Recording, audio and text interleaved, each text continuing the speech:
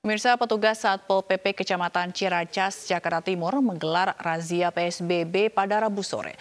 Sejumlah sanksi diberikan kepada para pelanggar, mulai dari push up hingga penyitaan KTP.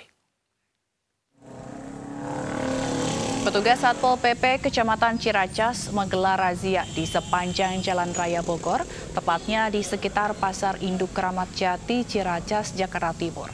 Pelanggaran berupa pengendara yang tidak memakai masker masih ditemukan. Petugas pun memberi sanksi berupa push up dan penyitaan KTP. Selain menyasar pengendara, petugas juga merazia pelaku usaha yang buka yang bukan termasuk dalam pengecualian dalam PSBB. Petugas memberi surat teguran dan meminta pelaku usaha untuk menutup tokonya.